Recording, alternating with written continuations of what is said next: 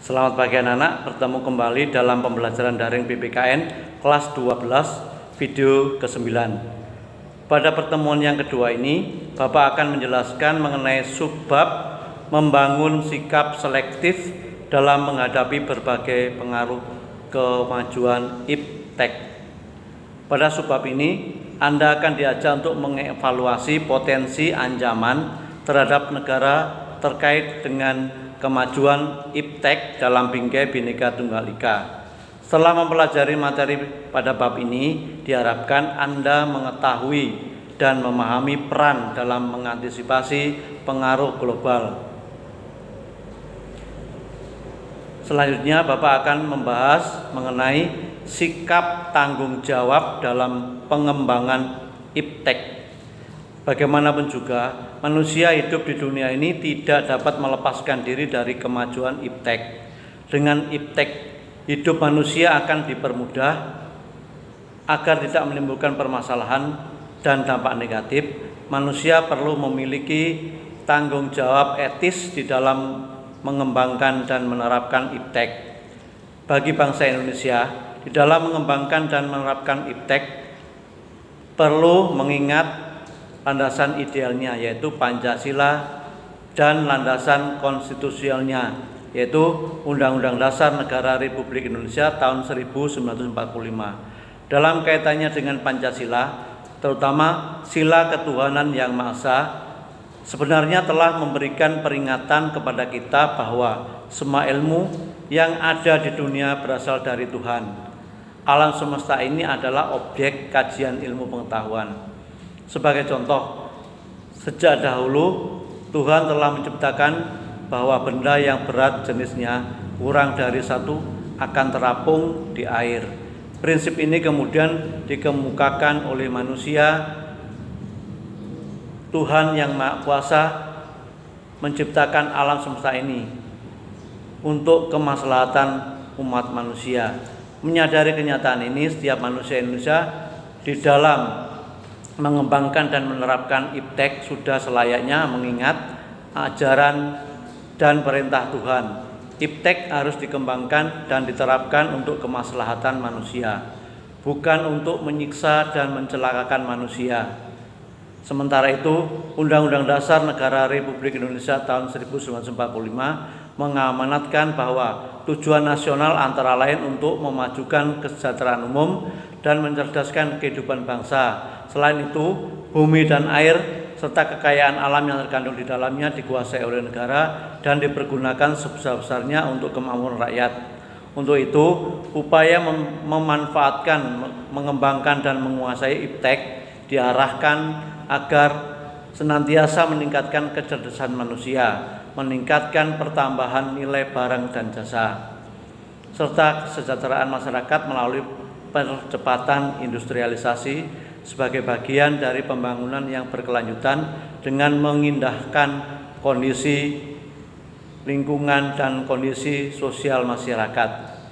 Dari amanat Undang-Undang Dasar tersebut jelas bahwa pengembangan dan pemanfaatan iptek untuk meningkatkan kecerdasan dan kesejahteraan rakyat secara lahir maupun batin. Itu semua harus mempertimbangkan kondisi lingkungan dan kondisi sosial masyarakat.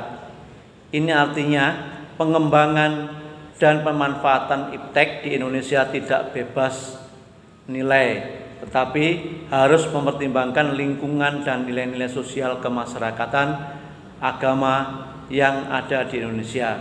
Usaha mengembangkan dan memanfaatkan iptek setiap manusia Indonesia harus memiliki kearifan dan berpegang pada prinsip moral. Dengan demikian, Pemanfaatan iptek dalam kegiatan pembangunan tidak akan merusak lingkungan hidup.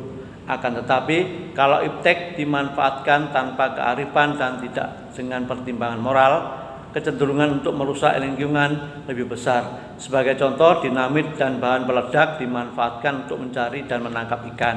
Hal itu tentunya yang akibatnya dapat merusak habitat dan lingkungan. Seorang yang menggunakan bahan peledak jelas semata-mata hanya demi keuntungan pribadi, tidak didasari timbangan moral dan akibat baik buruknya dari tindakan itu.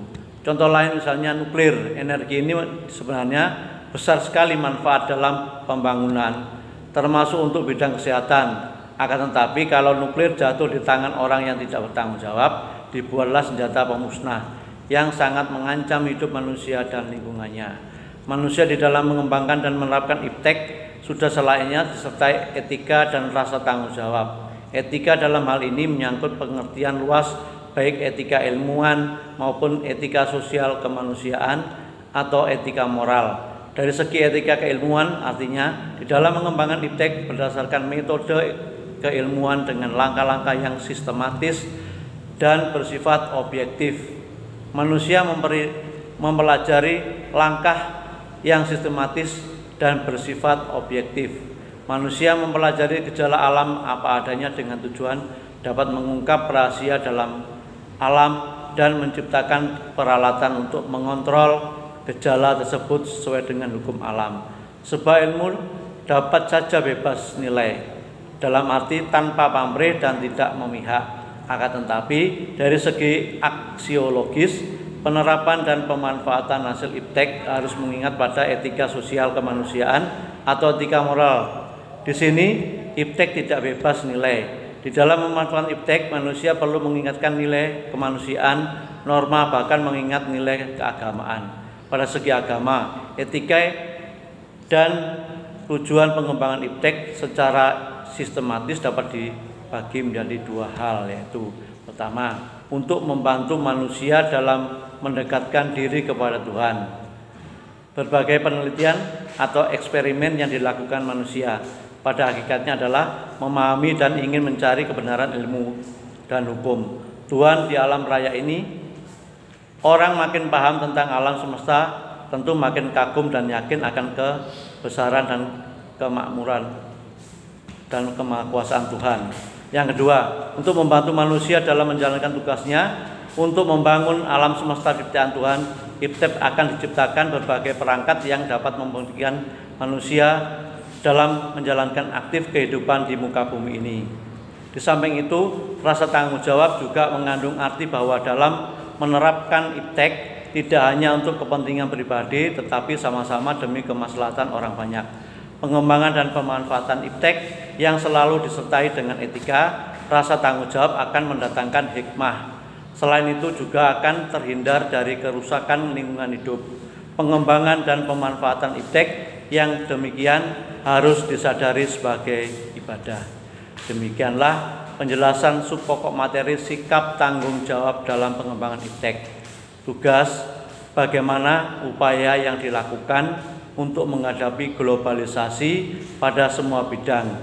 Menurut pemahaman Anda sendiri, kerjakan di buku catatan, kemudian penilaian secara langsung pada saat pembelajaran online. Sekian pembelajaran untuk hari ini atas perhatian dan waktunya. Terima kasih. Selamat pagi.